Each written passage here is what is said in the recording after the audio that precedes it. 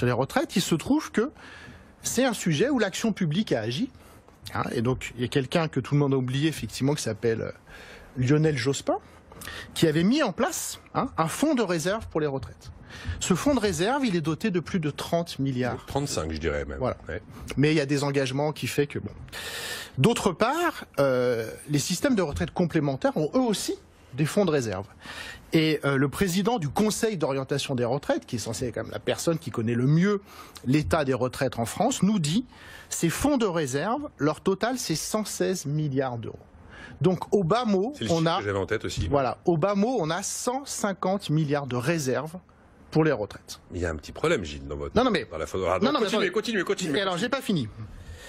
Euh, qui se souvient de la CADES Moi, bah oui. 96. On suit au sujet. Création euh. de la caisse d'amortissement de la dette sociale financée par la CRDS, la contribution au remboursement de la dette sociale dont la durée de vie a été prolongée en théorie et ne peut plus être prolongée au-delà de 2024. 20 sur 20. Hein. qui, ouais, Élève dose, euh, vous avez les félicitations du jury. Merci. Donc en 2024, effectivement, la CADES. Mais attendez, j'ai pas présenté les autres en fait. Non, non, mais attendez, je finis, parce que c'est quand même On incroyable. sait même pas qui est Gilles Ravo là pour l'instant. Oui, mais c'est pas grave. Ça n'a aucune espèce d'importance.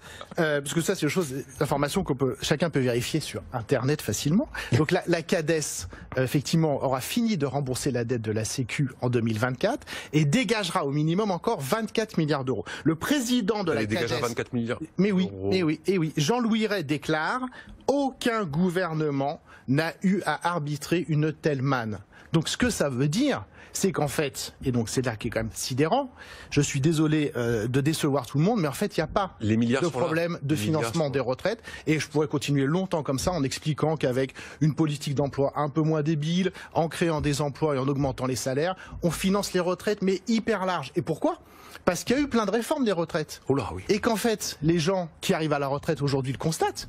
Les retraites ont vachement baissé. Et en fait, le vrai problème des retraites, c'est la pauvreté des vieux qui va arriver de façon évidente dans les prochaines années. Qui n'est pas plus- massive aujourd'hui. qui n'est pas du tout massive aujourd'hui, qui, qui est la plus grande réussite de l'histoire sociale de la France. Parce qu'avant, quand on était vieux, soit on avait du patrimoine, soit on était pauvre, et la grande majorité des gens étaient pauvres. La première réussite de notre système social, c'est qu'on a un taux de pauvreté parmi les vieux, qui est effectivement un des plus bas du monde et un des plus bas de l'histoire, évidemment. Mais demain, avec la dépendance, les amis des EHPAD qui se gavent et qui vous coûtent 2000 ou 3000 euros par mois, etc., on va avoir un énorme problème social qui va être la pauvreté, en fait, des vieux, des gens, des parents, les enfants qui vont devoir revendre la maison qu'ils ont mis 20 ans à acheter pour payer la dépendance de mamie, papy, etc. Donc c'est ça le vrai souci. Et je passe sur l'incroyable écart d'espérance de vie qui existe dans notre pays. Étude de l'INSEE euh, de 2017, 13 ans 13 ans d'écart d'espérance de vie entre un ouvrier qualifié et quelqu'un comme moi. C'est quand même des trucs énormes.